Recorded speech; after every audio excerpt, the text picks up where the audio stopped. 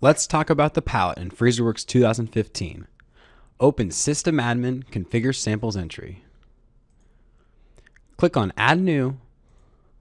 Then let's give our form a name and give our groups access to it. The palette is your all-powerful entry form configuration tool. Click and drag the fields you want on the form.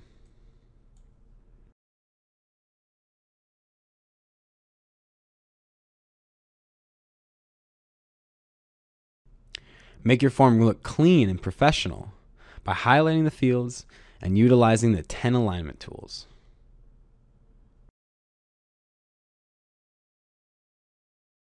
You can add free text by clicking the big T and dragging on the entry form.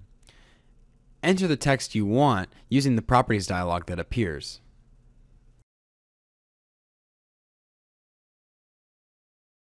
Use the word processing tools to size and style your text. These are on the palette as well.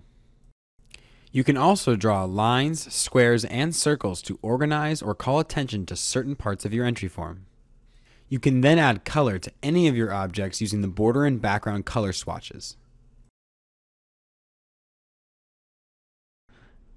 The little double arrow to the top right of the color swatches switches the border and background colors to help quickly create different objects.